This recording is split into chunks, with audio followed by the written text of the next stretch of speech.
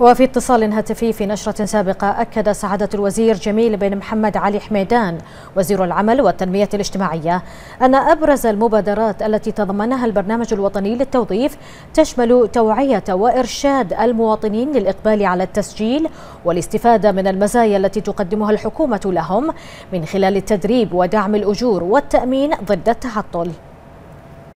يعني موضوع توظيف إتاحة فرص العمل المناسبة للمواطنين هو أولوية أو هو في قمة أولويات الحكومة.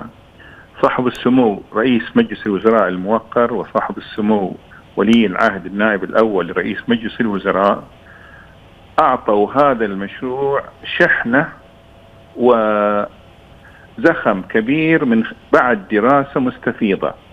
المبادرات اللي تضمنها المشروع أشرت إليها في التقرير أولها وأبرزها هي توعية المواطنين بالإقبال على التسجيل والاستفادة من مزايا والخدمات التي تقدمها الحكومة من تدريب ومن دعم للأجور ومن تأمين آه، ضد التعطل. حقيقة قمنا بحملة كبيرة يعني آه، استطاعت أن تجذب من كان مترددا في التسجيل.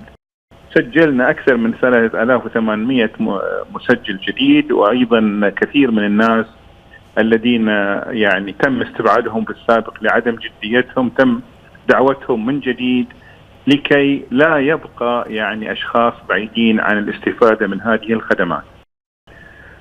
هذه النتيجة حققت يعني تنشيط كبير لعدد المسجلين وشغلت وساعدتنا على يعني منحهم الخدمة المطلوبة.